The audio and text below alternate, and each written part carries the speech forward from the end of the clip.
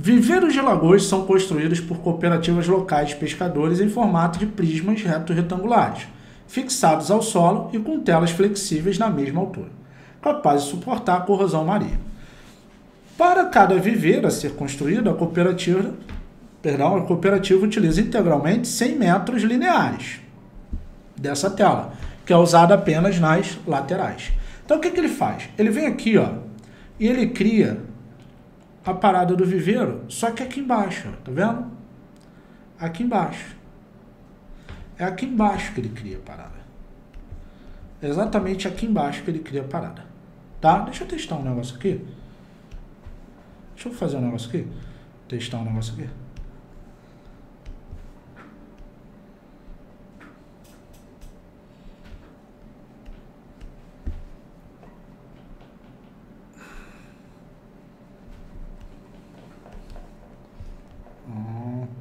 Deixa eu testar. Deixa eu só testar um negócio aqui.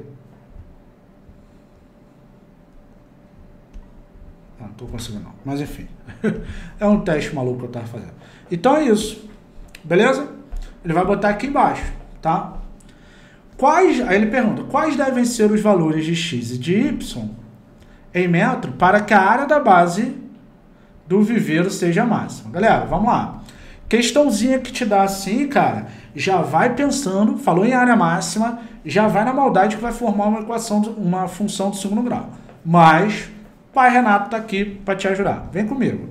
Se aqui vale x, aqui em cima vale x, aqui vale y. Quando ele fala que são 100 metros lineares, metro linear, a ideia é de você somar isso tudo, achar o perímetro desse retângulo. Pega o bizu.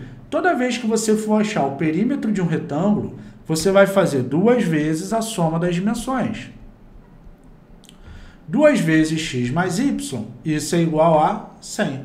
Porque tu vai somar duas vezes o x mais y, beleza? 2 está multiplicando, vai para lá dividindo. Então fica com x mais y igual a 50. Tudo bem, família? x mais y igual a 50. Show? Agora, pega o bizu que eu vou te dar aqui, velho.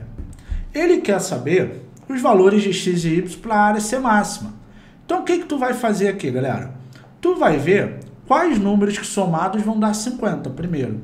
A letra A, 1 mais 49 dá 50. Opa, pode ser. Tá legal? A letra B, 1 mais 99, essa é maldade, dá 100. Não pode ser, porque a soma deles tem que dar 50. Pegou a visão? A letra C, 10 mais 10 dá 20. Não pode ser, porque a soma tem que dar 50. Pegou? A letra D, 25 mais 25, isso daí dá 50. Pode ser. E a letra E, 50 mais 50 dá 100. Dá 100. Então não pode ser. Então eu fico entre a letra A e a letra D. Agora é só eu ver qual que tem a maior área. Olha que maravilha, família.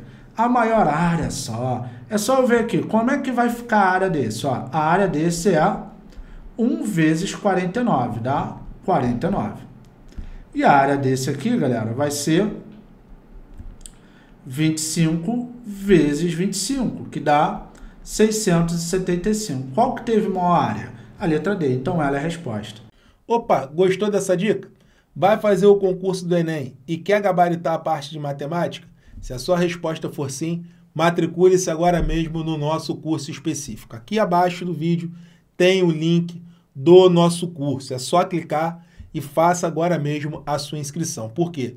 Esse curso vai ser a ponte para a sua aprovação. Nesse curso, você vai aprender o método MPP em três passos. É isso aí. Você vai aprender a interpretar, a resolver e vai aprender também a destravar a matemática de uma vez.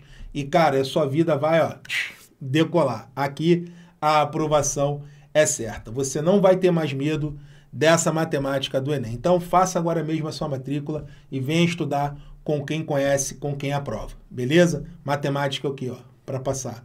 Valeu, família. Um abraço.